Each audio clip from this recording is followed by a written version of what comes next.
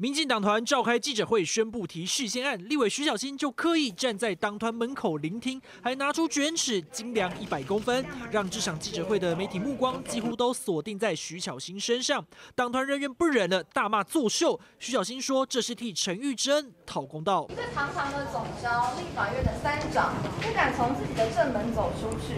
他们知道，他们昨天羞辱陈玉珍委员的行为就是一场陈玉珍委员在这里所受到的羞辱。所受到的霸凌，会有人帮他讨回来。我们党，我们党自行处分，好不好？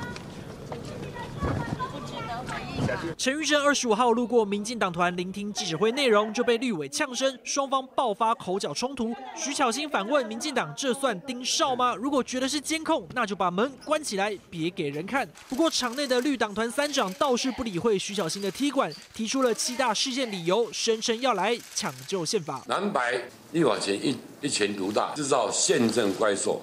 宪法已经失血了，宪法即将装上了 A A 克膜，我们要抢救宪法。国会改革法案二十六号正式生效，但从总统赖清德、行政院、监察院到党团。府院党视线四箭齐发，和广大民意对干。民众党主席柯文哲在类比赖清德是希特勒，批评赖清德将个人好恶凌驾法律上，是他的政治生涯惯性。当年台南市长两百三十二天不进议会，如今视线结果出来前，也不会到立院国情报告，正是走上独裁的第一步。